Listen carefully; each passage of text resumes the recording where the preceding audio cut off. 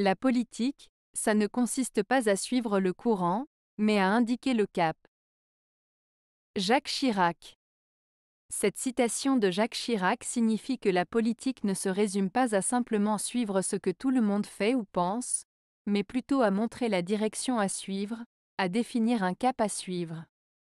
En d'autres termes, un bon leader politique ne se contente pas de suivre l'opinion publique ou les tendances populaires, mais il doit avoir une vision claire et guider les autres dans cette direction, même si cela peut parfois être contraire à la norme établie.